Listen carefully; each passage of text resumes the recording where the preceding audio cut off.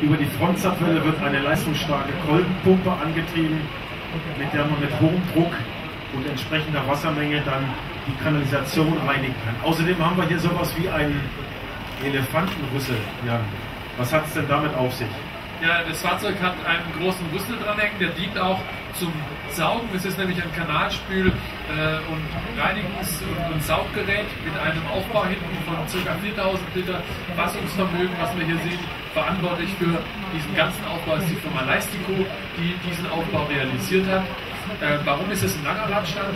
Ganz einfach deswegen, um hier möglichst viel Fassungsvermögen und möglichst viel Aufbaulänge auf dem Fahrzeug zu haben und gleichzeitig trotzdem eben die Geräteträgereigenschaften zu bekommen. Auch dieser Aufbau ist als Wechselaufbau aufgeführt. Wir sehen es hier, Aufbau auf dem Kugelpunkt.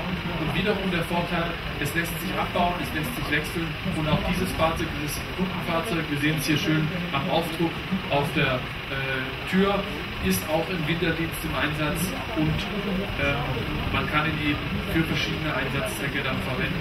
Zum Beispiel auch für das Reinigen, Hochdruckreinigen, du hast es gerade schon gesagt, mit einer Hochdrucklanze, die in der Front angebaut ist. Den Tank kann man äh, nicht nur für Schmutzwasser, sondern natürlich auch zum Frischwassertransport nutzen, sodass wir hier wieder mit einem Fahrzeugkonzept verschiedene Einsatzmöglichkeiten finden.